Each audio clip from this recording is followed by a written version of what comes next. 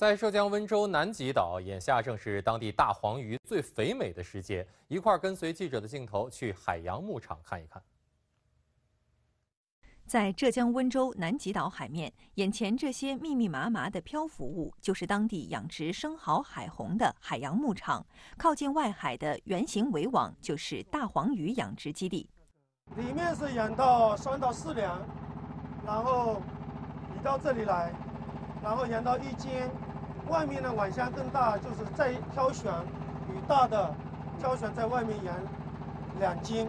多大的黄鱼，呃，在市场上卖的最好？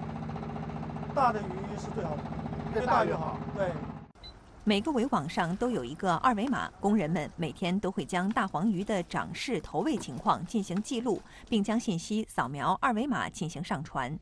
那个客户买过去，他也可以通过扫二维码知道这个鱼的生产过程，它吃的是什么。